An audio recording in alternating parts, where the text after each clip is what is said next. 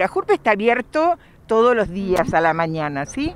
Eh, pero los lunes, miércoles y viernes un grupo de jubilados ayudamos en trámites, eh, no es que los hacemos, ayudamos en trámites a los jubilados de todos los sectores. Por ejemplo, el día eh, ayer, sí, ayer presentamos en nombre de todos los auxiliares de educación, porteros, cocineros, peón de patio, choferes, administrativos, presentamos en una nota en el ICI, firmada por cada uno de, esas, de esos agentes de la Administración Pública dependiente del Ministerio de Educación, a los efectos de que le recalculen su haber jubilatorio.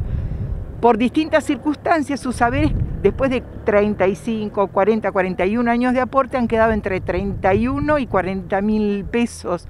Es decir, están eh, nada que ver con su sueldo en actividad.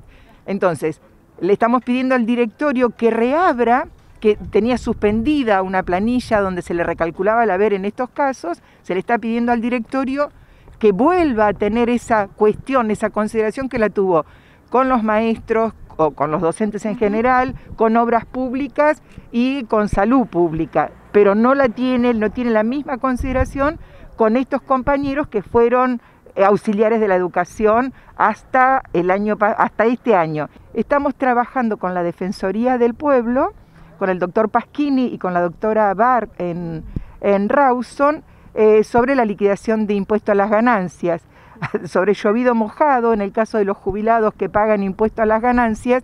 Eh, el instituto estaba efectuando, está, sigue haciéndolo, mal la liquidación de impuestos a las ganancias.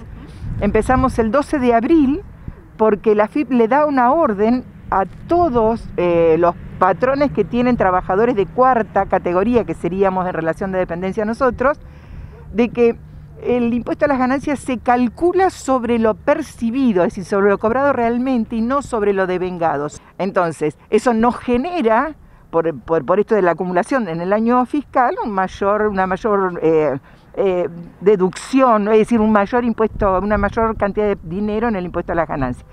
El instituto nos ha contestado después de mucha insistencia eh, de la Defensoría del Pueblo, admitiendo que lo están haciendo mal, pero qué bueno.